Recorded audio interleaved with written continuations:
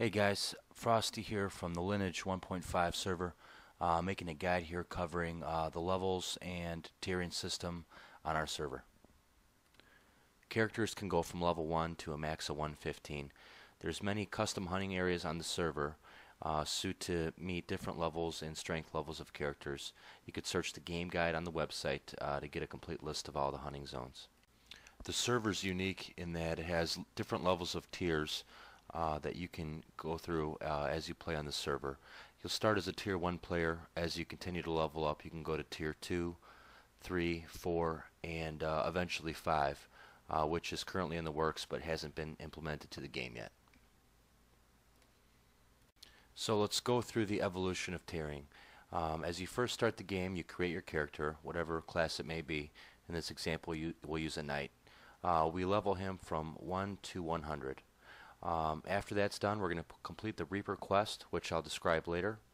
After the Reaper quest is complete, uh, you will then become a Tier 1 Reaper. Reaper is a custom class. Uh, you're going to you're going to uh, level your Reaper from uh, level 1 to 100 again. at this point, I, I, will recommend going to 115. I will describe that in a little bit. After uh, you have your Reaper to level 115, you're going to go ahead and uh, complete the tier quest, which we'll describe to become a level, uh, I'm sorry, a tier 2 knight. After you've become tier 2, uh, we're going to level our character up again from level 1 to 100. We're going to repeat the Reaper quest and then we will become a tier 2 Reaper.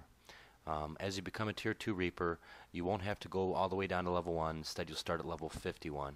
You're going to go from 51 up to 100. We're going to complete our tier quest to then become a tier 3 knight. Uh, this process uh, repeats over and over through Tier 3 and uh, Tier 4 and then eventually Tier 5. Keep in mind that as you progress through tiers in the game that the experience penalty increases uh, on what tier you're on. So a Tier 2, 3, or 4 character will take a lot longer to level than a Tier 1. Let's touch briefly on leveling to 115. So the main purpose of this is to be able to maximize your character stat points. Uh, it's important to know that you only have to level to 115 once. Otherwise, in order to tier or become a Reaper, you only need to become level 100. Let me take a moment to emphasize the point that if you're going to level to 115, you're going to want to do it during your first tier.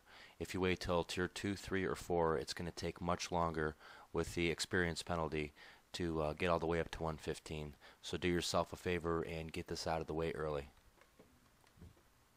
It's also important to know that after you reach level 100, your percentage on the action bar will not read accurately. So in order to see what percentage of your level you're at, you're going to want to type in dash stats and it'll display uh, your current percentage of your level completed. I'd also recommend taking the time to look on the L15 website under the stats guide for more information on allocating your level up stats, as well as the 31 all stats video uh, which was uploaded by another player. Okay, let's take a minute to talk about the benefits to tiering. Uh, the first and probably most significant improvement is that you're going to have increased physical and magical damage to monsters. Um, the most uh, significant change is going to be at Tier 2 where you uh, receive a 50% bonus. Uh, tier 3 would be 25, Tier 4 is a 10% bonus, and uh, Tier 5 is still in the works. These Keep in mind uh, when comparing this to different gear items that the damage bonus from tiering can be one of the most significant gains your character can make in the game. One of the other advantages to tiering is that you uh, are awarded elixir tokens uh, when you become a Reaper and when you increase tiers. Uh, depending on how far into the tiering you are, you can receive either two or three tokens. It's important to note that these elixir tokens are non-tradable and bound to your character. Uh, you can spend them by going to Silver Knight Town at Warp 2 and talk to the NPC Lenore.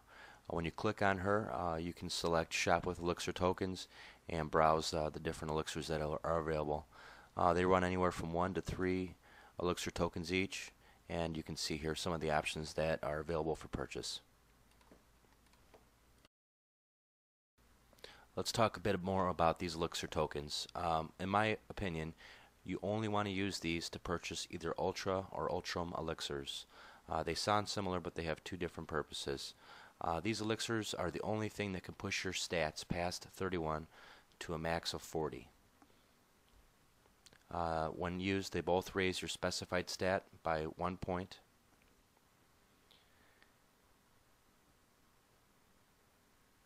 And uh, they're very valuable and in high demand. Ultra elixirs cost 3 tokens and Ultrums cost 2. The difference is that Ultras can be traded and Ultras, Ultrums cannot. At this point it's important to decide whether you want to apply these stat points to your character or consider selling them to other players for gear that can uh, more greatly benefit you at this time in the game. With all the advantages to tiering, there are also several drawbacks to consider. Uh, the first and most evident is that your level goes back to either 1 or 51. Uh, with this being said, your hit points, mana points, and AC are going to be reset to low uh, default values. Uh, on top of that, there's going to be certain level restrictions on areas that you can hunt, and with the recent change, some areas are separated from lower tier players to higher tier players, making the monsters more difficult.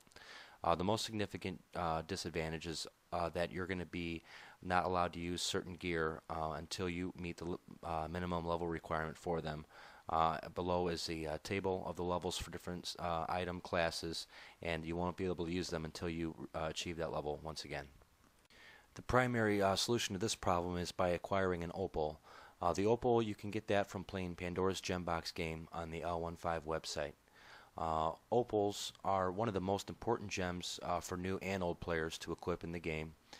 And uh, essentially, what it does is it lowers the level requirement for your items, where you can year, use uh, higher leveled gear on a lowered level player.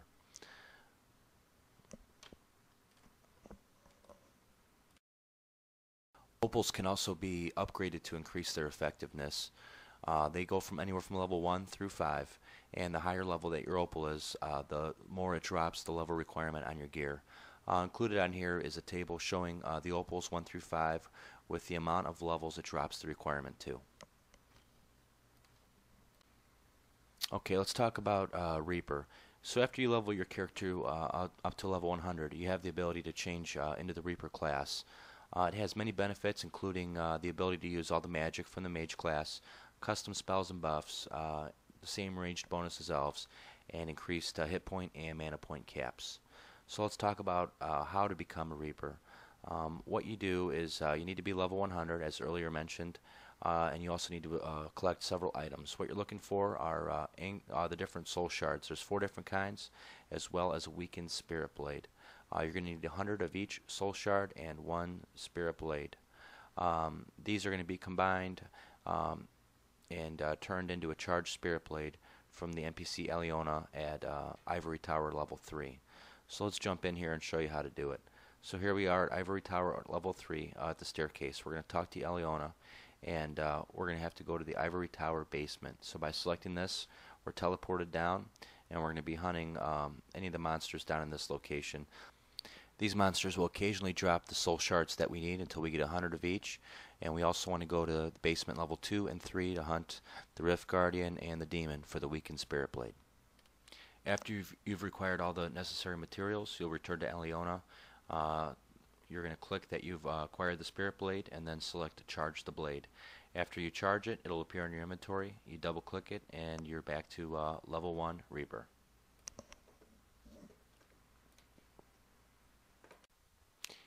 in order to advance in tiers, uh, we need to collect three keys. The first key is going to be uh, the key to the forest. Uh, we can get this by going to Warp 6 uh, at Orctown and hunting the high-level orcs. Um, all three keys are somewhat of a rare drop rate, however, uh, with enough time you can get all three. The second key that we need is going to be acquired by going to the Chaotic Temple. Uh, we can hunt any of the monsters here in the Wasteland, which will drop you the key to the Wasteland. The third key we need to acquire is you get that by going to Forgotten Island and uh, again killing the monsters to acquire key to the island. After you have all three keys, we're going to go to Silver Knight Town, which is Warp 2, and we're going to talk to Lenore, the same NPC that handles the elixir tokens. We're going to scroll down um, to the uh, tiering section and scroll down to uh, where it says uh, Open Pandora's Box. You'll get this item in your inventory, which you can double click, and then uh, you will have advanced to the next tier. It's important to note for players that are trying to go to Tier 4 that uh, you need to collect the lower and upper fragments of creation, uh, which are rare drops from some monsters uh, throughout the game. Once you achieve these, you can turn them also into Lenore uh, to get uh, Einhasad's box, which you can double click to, to then become tier 4. I hope this guide's been some help uh, to you players that uh, might have some questions on the leveling and tiering system of the Lineage 1.5 server. Uh, and thank you for watching.